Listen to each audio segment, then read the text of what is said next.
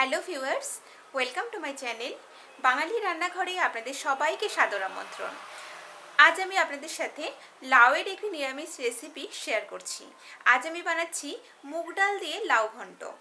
লাউ কিন্তু গরমকালে শরীরের পক্ষে ভীষণ উপকারী একটা ভেজিটেবল আর এই লাউ ঘন্টটা বানাতে আমি খুবই কম তেল এবং মশলা ইউজ করছি। তাহলে চলুন, আজ আমরা বানাই মুগ ডাল দিয়ে লাউ ঘন্ট।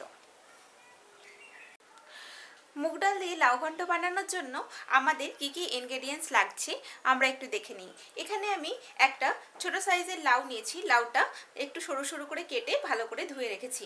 তার সাথে লাগবে হাফ কাপ সোনা মুগ ডাল টু স্পুন আদা পেস্ট, পাঁচটা থেকে ছটা কাঁচা লঙ্কা চেরা ওয়ান স্পুন হলুদ গুঁড়ো ওয়ান স্পুন ধনে গুঁড়ো ওয়ান স্পুন জিরে গুঁড়ো হাফ স্পুন ঘি, ফোড়নের জন্য একটা তেজপাতা, একটা শুকনো লঙ্কা ওয়ান ফোর স্পুন গোটা জিরে।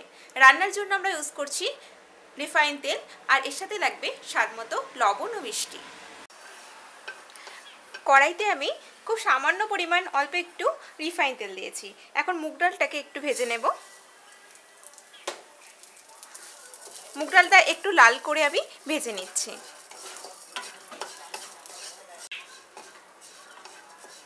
ডালটা প্রায় ভাজা হয়ে গেছে। এটা কালারটাও চেঞ্জ হয়ে এসেছে, এটা লাল হয়ে গেছে। এখন আমি এই ডালটাকে একটু জলের মধ্যে ধুয়ে নেব। এটা এখন নামিয়ে নিচ্ছি। এখন কড়াইতে আমি টু টেবিল স্পুন রিফাইন তেল দিয়েছি, তেলটা গরম হয়ে গেছে। এর মধ্যে ফোড়ন দিলাম, শুকনো লঙ্কা, তেজপাতা আর গোটা জিরে।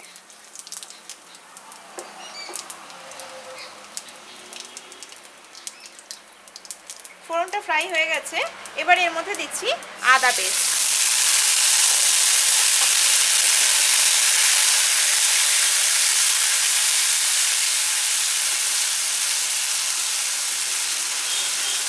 আদা পেস্টটা দিয়ে এর মধ্যে আমি দিচ্ছি কাঁচা লঙ্কা চেরা, জিরে গুঁড়ো, ধনে গুঁড়ো, আর দিচ্ছি হলুদ।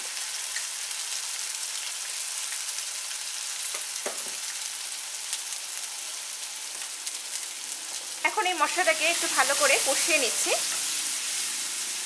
একটু সামান্য আমি জল দিচ্ছি এর মধ্যে।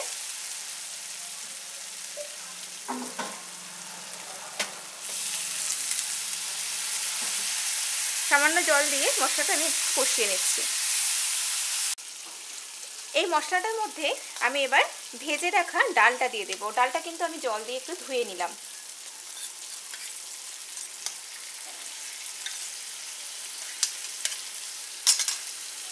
ডালটার সাথে মশলাটা একটু ভালো করে কষিয়ে নিচ্ছি।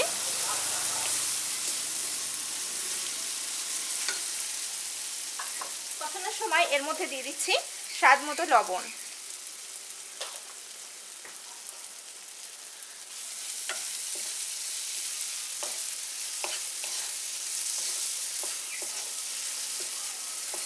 এক মিনিট মতো একটু নাড়াচাড়া করে আমি এর মধ্যে লাউটা দিয়ে দেবো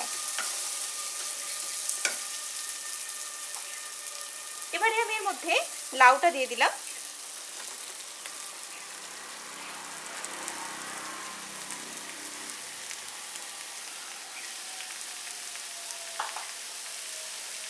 লাউটার সাথে মশলাটা একটু ভালো করে মিক্সড করে দিতে হবে।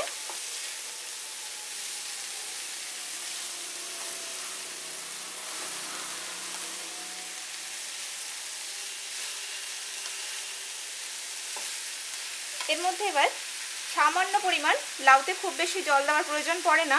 আমি সামান্য পরিমাণ জল দিয়ে এটা ঢেকে দেব। হাফ কাপ মতো জল দিলাম। এবারে এটাকে আমি পাঁচ মিনিটের জন্য ঢেকে দিচ্ছি।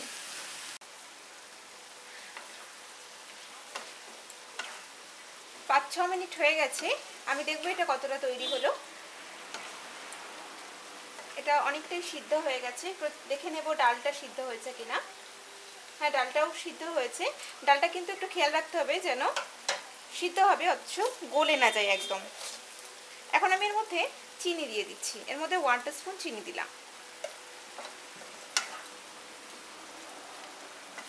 লবণটা একটু চেক করে নিচ্ছি। এর মধ্যে আর একটু সামান্য পরিমাণ আমি লবণ দিচ্ছি এখন এটাকে আরও তিন থেকে চার মিনিটের জন্য আমি ঢেকে দিচ্ছি, কারণ এই জলটা কিন্তু এখনও শুকায়নি।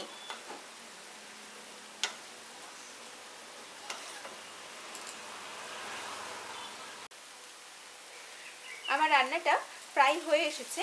এটা কিন্তু খুব মাখা মাখা একটা তরকারি হবে। এবারে এর মধ্যে আমি হাফ স্পুন ঘি দিচ্ছি। ঘিটা দিয়ে আমি গ্যাসটা বন্ধ করে দিলাম। আর এটা পাঁচ মিনিটের জন্য ঢেকে রেখে তারপরে আমি এটা সার্ভ করব। আমার রান্নাটা একদম রেডি হয়ে গেছে।